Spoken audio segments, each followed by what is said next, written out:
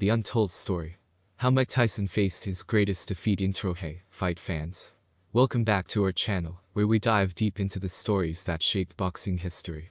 If you're new here, don't forget to hit that subscribe button and ring the bell to stay updated on all our thrilling content content today. We're unraveling a shocking tale that sent tremors through the boxing world. The moment Mike Tyson suffered his most memorable defeat.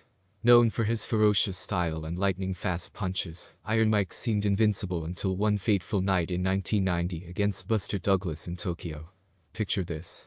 Tyson walked into the ring as the undefeated heavyweight champion, a living legend. But as the fight unfolded, an unexpected turn of events began to unravel.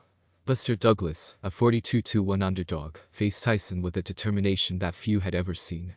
The tension was palpable, and the world held its breath as history was about to be rewritten. I in this video, we'll break down the key moments of that electrifying bout, and explore what led Buster Douglas to knock out the seemingly unstoppable champion. Was it sheer grit? A clever strategy? Or was Tyson simply not at his best that night? We'll analyze the fight rounds, the pivotal punches, and the fallout that changed the trajectory of Tyson's career forever. But that's not all. We'll also share exclusive insights, interviews with boxing experts, and never-before-seen footage that brings this epic showdown to life like never before. Out Rosso, if you're ready to relive this iconic upset and discover what truly happened when the unbeatable fell, hit that like button, comment your thoughts on Tyson's legacy, and don't forget to subscribe for more captivating content. Let's